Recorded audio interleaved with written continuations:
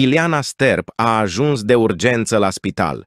Cu ce probleme de sănătate se confruntă sora lui Culiță? Sora lui Culiță Sterp a postat o fotografie direct de pe patul de spital. Ce se întâmplă în aceste momente cu Ileana? Ileana Sterp nu se sfiește să le arate fanilor din mediul online părțile frumoase, dar și cele mai puțin plăcute din viața sa. De cele mai multe ori, sora lui Culiță vorbește despre bucuria de a fi mamă și povestește cum își crește cei doi copii, motiv pentru care extrem, extrem de apreciată pe internet. Astăzi însă Ileana și-a îngrijorat toți urmăritorii de pe Instagram. Pe rețeaua de socializare, sora lui Culiță Sterp a publicat o fotografie la care nimeni nu se aștepta.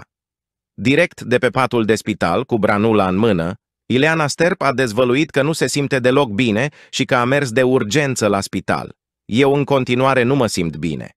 Aseară am fost la urgențe pentru că nu mai știam ce să fac și după perfuzie m-am simțit mai bine. Dar astăzi m-am trezit din nou cu stări de rău. E a patra zi în care nu pot să mănânc mai nimic.